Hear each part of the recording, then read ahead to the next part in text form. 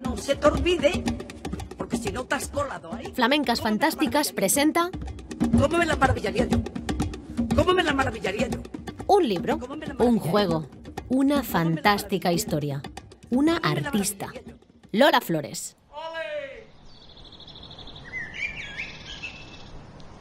Un, dos, un, dos, tres, cuatro, cinco, seis, siete, ocho, nueve, diez. Un, dos, un, dos, tres, cuatro, cinco, seis, tracadá, tracadá. Lola Flores consiguió hacer realidad sus sueños. Y tú también lo puedes conseguir. Persíguelos y que no se te escape ni uno.